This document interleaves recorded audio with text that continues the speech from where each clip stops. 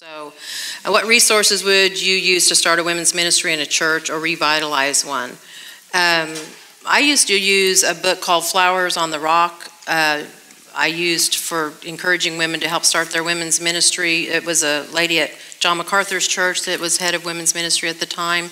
Um, I've written some material on that. It's not published, but how to start a women's ministry in your church. I'm happy to send that to you on how to start a ladies' Bible study in your church and how to start a Titus 2 ministry in your church. So if you're interested in that, you can email me and I'll send you all that information. Do you know of any other stuff out there on how to start a women's ministry?